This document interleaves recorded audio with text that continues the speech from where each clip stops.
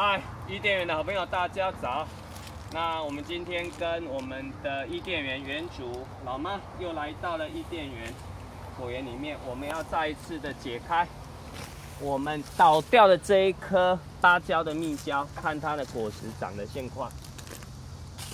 哦，大粒咯，大大硬咯，超重的，骨感无法。哇，给咯。啊，算了算了，就这样就好了。来，啊芒，哎芒啊嘛爱提起来，来。提起来要烫。啊，这芒啊。你这边提起来烫呀，来。嗯。拿起来做什么？哦，这大颗呢嘛，一个月前插这么呢，插有够多呢。本来是这这一串的蜜胶是要放弃的，但是目前哈，目前其实现在。即使现在取下，它也不会浪费掉，是可以吃的。但是各位可以看到哈，里面因为整个是倒掉的，没有放弃的，继续生长。可是蚂蚁啊，好多的蚂蚁有没有看到？啊，这些蚂蚁很多的话，如果是蚂蚁或是一些像这个有没有粉介壳虫？像这个的话，我等一下拉水线、拉水管，用强力的水柱来清洗。那这一串的香蕉已经是可以采收的状态，但是。超重的，哦，哦，很重了，很重，超重的，来，安可以来了，就这样子看一下就好了哈。嗯，没有放弃，它就继续存活，那继续存活，它还是可以生长，只要不是全部都不能用，它基本上我们都觉得我们的实验观察跟保留这一个岛福的芭蕉蜜蕉。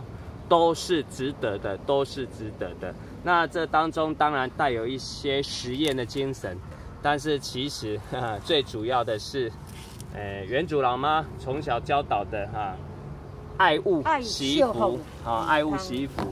唔通掉掉都唔低啦。啊，然后有些时候像不能吃的，我们人不能吃，我们也可以拿回去喂给家里面的鸡、鸭、猪啊这些。我们家里的牲畜，它也是可以吃。啊，所以哦，原来倒下去的时候很小，现在还是可以。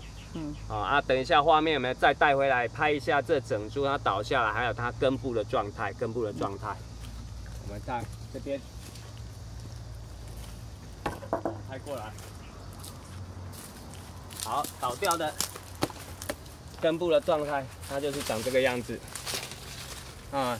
倒的很完整，那我可以讲它倒的也很漂亮。为什么？因为它没有断掉，没有拦腰断掉，就只有根部倒，然后底下大概十分的根留下两份左右吧，连接两份左右。